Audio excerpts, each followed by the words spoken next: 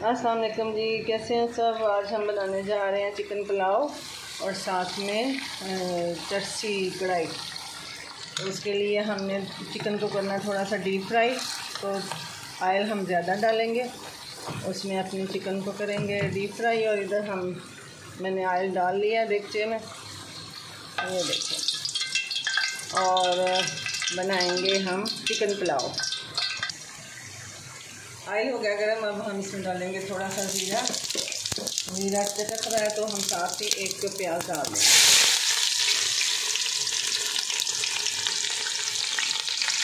तो प्याज को करना है हमने थोड़ा सा ब्राउन, फिर इसमें डालेंगे मज़े मज़े की चीज़ें। प्याज हमारे हो रहे हैं, अभी गोल्डन हुए हैं थोड़े सा और, डार्क ब्राउन करेंगे इनको। साथ में मैंने ले लिए हैं टमाटर और एक हरी मिर्च ली है, साबुत गरम मसाला लिया दो से तीन लौंग है काली मिर्च है, दालचीनी की दो स्टिक्स हैं, दो बड़ी इलायची है, एक छोटी इलायची है और ज़ीरा। और इधर मैंने ले लिया नमक, ज़ीरा पाउडर, थोड़ी सी सुरख मिर्च है। और ये हमारा चिकन है। और ये हो रहा है थोड़ा सा थोड़े थोड़े डार्क हो रहे हैं।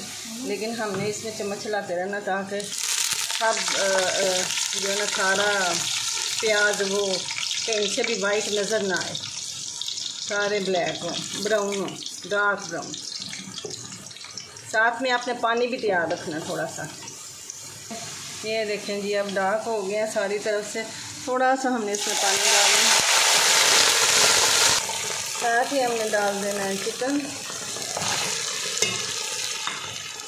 चिकन को मैंने पहले से रोस्ट किया हुआ है, इसलिए इसको ज़्यादा नहीं पकाएँगे।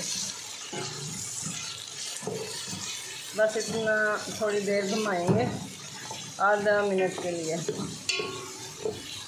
क्योंकि ये पहले से रोस्ट है, फिर इसमें डाल देंगे टमाटर और हरी मिर्च, और साथ ही हमने डाल देना साबुत गरम मसाला। अब इसमें चिकन को अच्छे से पकाएँगे।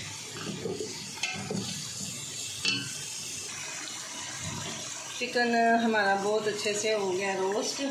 ये जो चरसी कढ़ाई थी, ये देखेंगे। अभी हमने इसका निकालना आयल ज़्यादा जो आयल है वो हम निकाल देंगे। बस थोड़ा सा आयल इसमें रखेंगे। देखें जी आयल हमने सारा निकाल दिया है। बस थोड़ा सा आयल है अभी इसके अंदर। इसी में हम डाल देंगे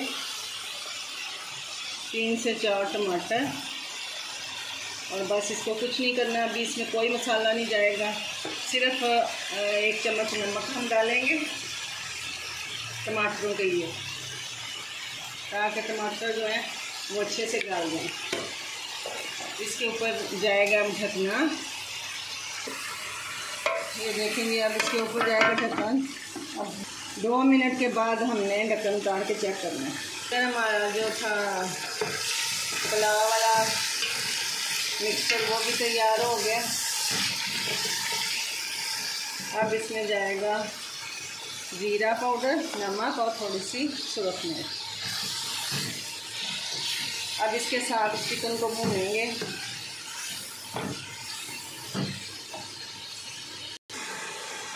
ये देखें जी, चिकन हमारा बड़ा खूबसूरत कलर हो गया। अब इसमें पानी डालेंगे।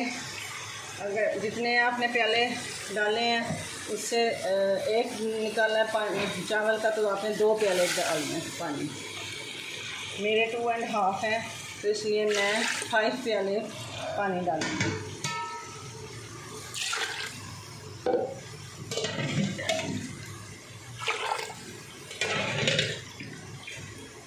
ये पानी।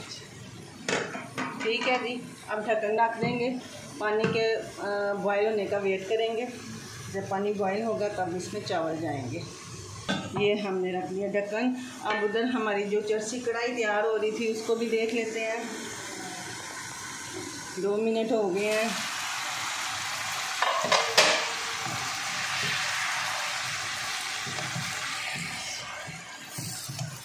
अभी टमाटर जो हैं, वो नहीं सही से हुए। अभी इनको दोबारा दो मिनट के लिए रखेंगे। ताकि टमाटर जो हैं वो अच्छे से गल जाएँ। ये चरसी कढ़ाई में जाएगा जी, अदरक लहसुन का पेस्ट दो हरी मिर्च है, कुटी हुई लाल मिर्च है, हल्दी है काली मिर्च है और नमक है। नमक हमने पहले भी डाला था, इसलिए आप थोड़ा कम डालेंगे नमक। अब देखते हैं जी कढ़ाई को।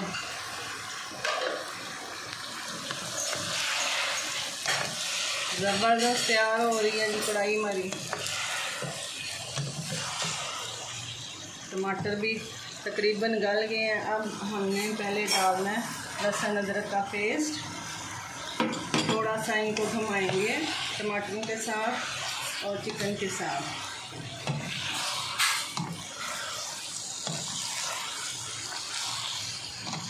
ज़्यादा मेहनत नहीं करनी पड़ती इसमें बड़ी जल्दी बन जाता है। बाकी जो चिकन कढ़ाई है, चिकन चाड़ी है, उसमें तो फिर टाइम लगता है ना? इसमें वो भी नहीं लगता। गोश्त आप अच्छे से धुला हो तो बड़ी इजी बन जाती है। नमक लगा के खूब गोश्त को धोएँ, पानी जल्दी उसका खुशक हो जाता है। आप बाकी चीज़ें इसमें डाल देंगे। और इनको भी घुमाएँगे।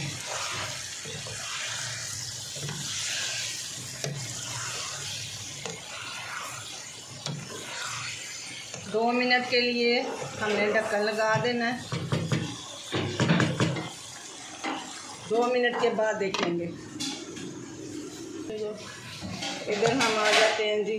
पानी जो है वो हमारा बॉयल होना शुरू हो गया तो अब हम इसमें चावल डाल देंगे। ये चावल जो है, अब इसमें चले जाएँगे। बस हल्के हाथ से हमने चावल को मिक्स करना है पानी में।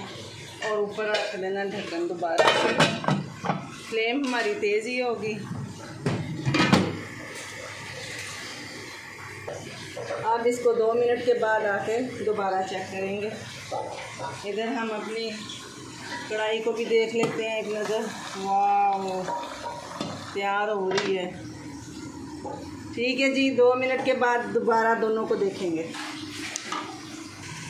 दो मिनट के बाद अब हम ढक्कन उठाएँगे क्या मज़े की खुशबू आ रही है। लाजवाब, हमारा चिकन चर्सी चिकन तैयार। मज़े से खाइएगा, मेहमानों को खिलाइएगा, चपाती के साथ, चावल के साथ, या नान के साथ। बहुत मज़े। अब इसका कर देंगे फ्लेम को बंद कर देंगे, क्योंकि हमारी हांडी तैयार हो गई है। अब आते हैं हम चावल पुलाव की तरफ़। ये देखेंगे। चावल हमारे तकरीबन रेडी हैं। पानी खुश्क हो रहा है। और देखें कितने मज़े के लंबे लंबे चावल आपको नज़र आ रहे होंगे। अभी हम इसका ढक्कन ऊपर ही रखेंगे। पानी के खुश्क होने का वेट करेंगे। तकरीबन एक मिनट हमें और लग जाएगा। फ्लेम आपने तेज़ ही रखनी है। एक मिनट के बाद दोबारा जब देखेंगे तो फिर हमने इनको पानी जब खुश्क हो जाएगा तो हमने इसको दम पे रख देना। ठीक है जी। है, देखें जी, एक मिनट हो गया, अब हम ढक्कन उठा के देखेंगे। तो क्या ज़बरदस्त खुशबू आ रही है। कलरफुल हमारा पुलाव तैयार है, पानी खुशक हो गया है। थोड़ा सा चम्मच चला के देखेंगे हल्का सा आपने घुमाना है, ज़्यादा नहीं, चावल टूट जाएँगे। अब हम इसको करेंगे फ्लेम को बिल्कुल स्लो, और एक मिनट के लिए रख देंगे दम।